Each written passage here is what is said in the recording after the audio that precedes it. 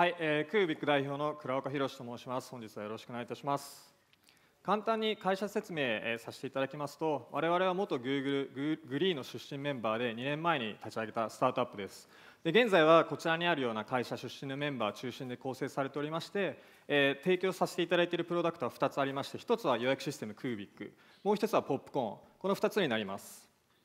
本日は今年の2月にリリースしたばかりのこちらのサロンマッサージの当日直前予約サービスのポップコーンについて説明させていただきたいというふうに思っております。まず早速そのプロダクトのイメージについてちょっと持っていただくためデモをご覧ください。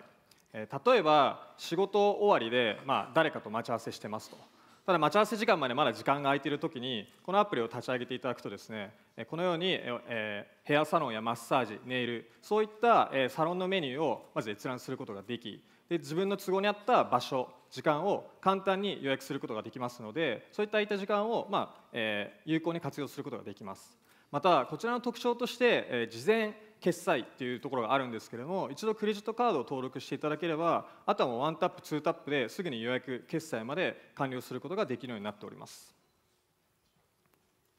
実際にポップコーンを体験したお客様の声について紹介させていただきますと例えばあのネイルサロンでデザインも気分も一新した後、まあ、お会計でまあ現実に戻されないって幸せっていった声ですとかあるいはその当日そのスマートフォンでまあコンビニ感覚ですぐに予約できるといったそういった新しさについて評価いただいております。さて、えー、ではそのこのポップコーン今までの予約サービス何が違うのかっていうところについて、申し上げますと先ほどのユーザーの、声にもありました通り今行きたいと思った時にすぐに直前まで予約することができます。また事前決済のため手ぶらでも行けること。さらにポップコーンならではの特別なメニューというのを用意してもらっています。こちらがその一例になるんですけれども例えばマッサージとかネイルとか当日ならではの価格で例えば半額以上そういったお得な価格で予約することができるようになっております。一方ですねあのオーナーにとってそもそも何がいいのっていうところなんですけれどもこちら事前決済のためキャンセルリスクはありません。また成果報酬型であるため、まあ、ビジネス的なダウンサイド、えー、リスクというのがありません。また、えー、我々はですねあの集客だけではなくてそのオーナーのそのリピーター促進顧客をどんどんリピーター化していくというところにも力を入れておりましてそういった機能も提供しております。こちらがその一つの例になるんですけども実はポップコーンのオーナーの管理画面というのは我々が別途提供させていただいている予約システムクービックの方を使っておりましてこちらではそのポップコーン経由のお客様だけではなくてあらゆるお客さん情報をここで管理することができるようになっております。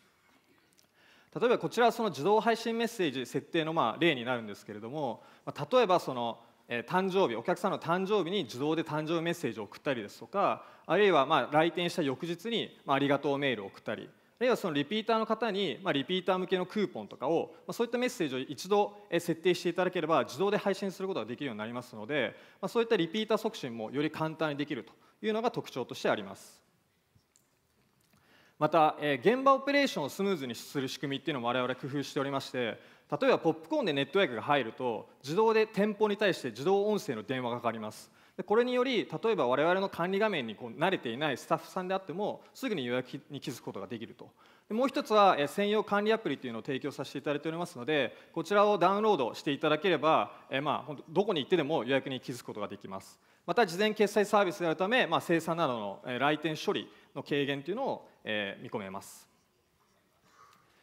次にですね、まあ、我々としてターゲットしているマーケットについて説明いたしますと、まあ、マーケットサイズは1.3兆円と、ま、大きいですと。ただネット予約の割合というのはまだ20%満たし見て満たしてない状態でまだちょっと少ないのかなというふうに思ってます。ただネット予約の成長率という観点でいうと、まあ、年々大体90%のペースがこう増えてきているというのがあるのでまだまだどんどん成長していくマーケットなのかなというふうに思ってます。そして、まあ、我々にとって重要なあの指標っていうのはまあ予約数になるんですけれども、まあ、2月にリリースしてからなんですが、えー、ここ23か月大体340%のペースで増えてきております。今後はカバー領域を増やしたりですとかあるいは、えー、マーケティングそういったところに力を入れることによってどんどん成長を加速させていきたいというふうに思っております。こちら最後になるんですけれどもあの今回のイベント用に我々キャンペーンコードを用意しました。あのぜひ皆様にもあのポップコーン体験をしていただきたいということでこの後あのぜひあの使っていただければなというふうに思っております。ご清聴ありがとうございました。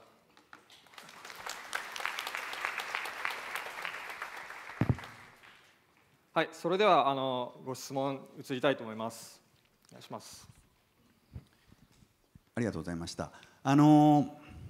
まあ、この業界だと多分あのホットペーパービューティーっていうまあ非常に、はい、あの大きなあのサービスがあると思うんですけれども、まあ、こういうところとどう戦って、はい、えー、まああのプロダクトをこう広げていくのかっていうのをちょっと教えていただけたらな一つはその我々当日予約に限定しているっていうところがあるのであの結構当日だからこそできることっていろいろあるのかなと思ってます。で一つは事前決済なんですね。で例えば1週間後の予約を事前決済してするってなると結構ユーザーとして抵抗があるのかなと思うんですけれどもあの今回はその当日予約だけなので、まあ、事前決済ですぐにスムーズできるっていうのがあるのとあともう一つ今回ちょっとデモあのすることができなかったんですけどもあの例えば空いたら教えてねっていう機能がありましてあのまあ、当日閉まっててもなんかちょっと気になるところをこう登録しておけばその当日空いた時にすぐプッシュ通知が飛んでくるっていうそういう仕組みをやることによって、まあ、ユーザーとしてもなんかふと思った時にあなんか行こうかなみたいなふうに思ってもらうのかなというふうに思ってます。で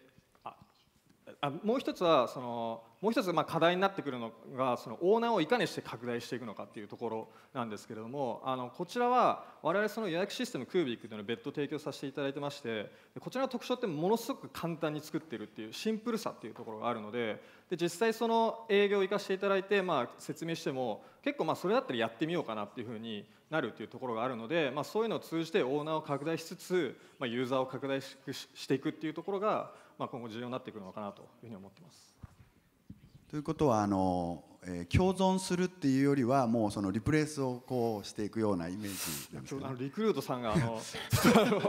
あれはちょっとよくわかんないんですけどもあのそうですね。我々としてはいきなりじゃあ全部ひっくり返せるのかっていうことがまあ現実的なのかというとまだあのちょっとそこは分かんないところであるんですけどもただ先ほどもあの申し上げました通りマーケット自体がどんどんあの広がってるっていうのがあるので、まあ、そこを我々としてはチャンスがあるのかなっていうのとあとこれあのゆくゆくはその他の地域グローバルも展開していきたいというふうに思っていてでそうなった時にはやはりそのプロダクトのシンプルさそれはユーザーにとってもそうですしオーナーにとってもそうですしそこがあのやっぱ究極的には重要になってくるのかなというふうに思っていて、まあ、そういう本当に全然別のところも含めて、まあ、我々としては攻めていければなというふうに思っています。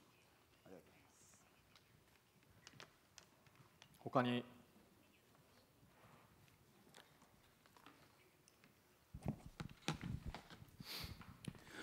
So how do you um, how do your customers the uh, the businesses manage their calendars and, and stuff right now and how are you getting distribution to get them to use your product uh, uh, for user that? side or merchant side no on the merchant side merchant side so we're basically um, uh, uh, directly talking to uh, these merchants one by one. Especially it's Tokyo, it's crowded, so it's, it's, it's relatively easy for us to reach out to them. And that's what we do in merchant side, but, but, but that's only Tokyo for now. But going forward, uh, if we're going to go beyond Tokyo, say Fukuoka or Osaka, uh, we're going to probably do some partnership with some of the um, uh, business owners that are, you know, have a relationship with those uh, merchants. Does that answer your question? 他に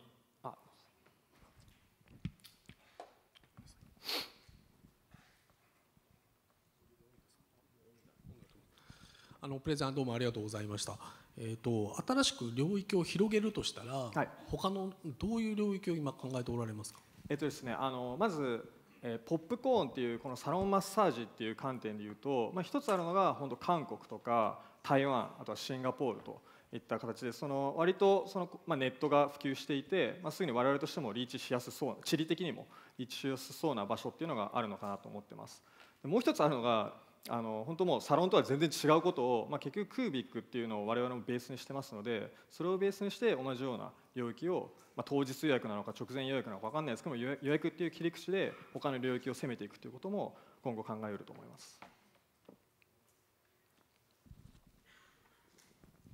と逆に言うとククビックとセットじゃないとこれは広げられない？あ実はですねあの内々的にセットにしているだけであってこれ完全今プロダクトとしては別のものとして提供させていただいてるんですね。なので例えばそのたまたまそのポップコーンオーナーにポップコーンのマーチャントに営業をかけていくときにやはりそのクービックっていうのがもともと我々の資産としてあったっていうのとよりシンプルに使われてたっていうところあのシンプルに作ってたっていうところがあるので、まあ、それをまあレバレッジかけられるのかなというふうに思って今はそれをやってます。ただゆくゆくは別にクービックにあの必ずしもあのなんていうんですかねつながっている必要はないのかなとは思ってます。